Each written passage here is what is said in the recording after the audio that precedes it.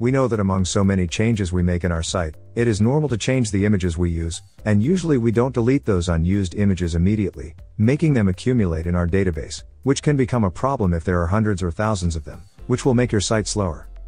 Therefore, we want to show you a quick and easy way on how to remove all unattached images from your media library, so that your server stops being overloaded no matter how many files you have to delete. For this, we'll use the Media Library Spreadsheet plugin. This plugin shows you all your media files in a spreadsheet, where you can do advanced searches and apply changes massively in a few minutes.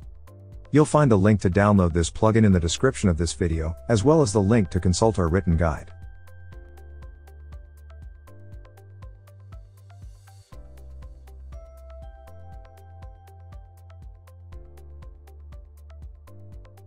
Once you have installed and opened our plugin, we'll look for all the images to delete. We'll do this since the spreadsheet will show all types of files, such as videos, images, zip, audios, etc. To do this, we'll open the search tool.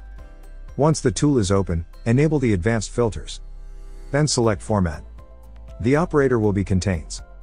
Now we'll enter image as the value. Click here to add a new search filter. Enter the attached to this post field key. Use the equal operator. And leave this field empty. Finally, run the search to bring up all unattached images.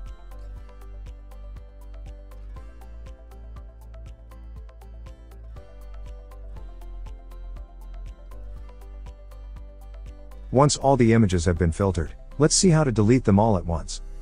First, open the bulk editing tool. Once the tool is open, select this option to edit the result from our search. Then, look for the field status. Select the set value. And select delete completely. Finally, execute and all the filtered images will be deleted.